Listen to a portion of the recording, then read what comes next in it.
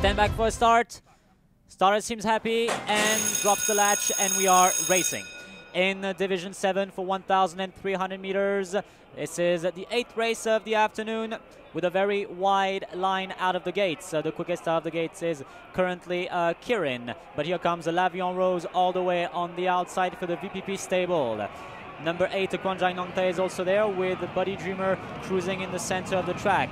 Next was number 1, Jirapat in front of Ola Moore. Next was Utah in front of Kun Kesara. Turn of the field is currently for Beautiful Sky as they swing left in the final turn. It is Lavion Rose who controls the race now. Kirin is a tight second, half a length away.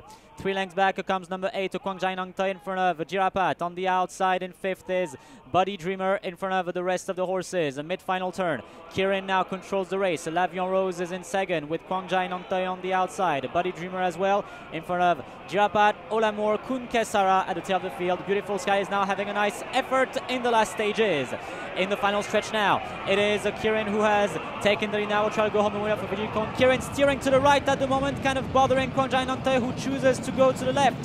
Kirin is still in the lead for Vigilcon, but here comes Kwangjai Nongte completely steering to the left as well, bothering Lavion Rose for the VPP stable.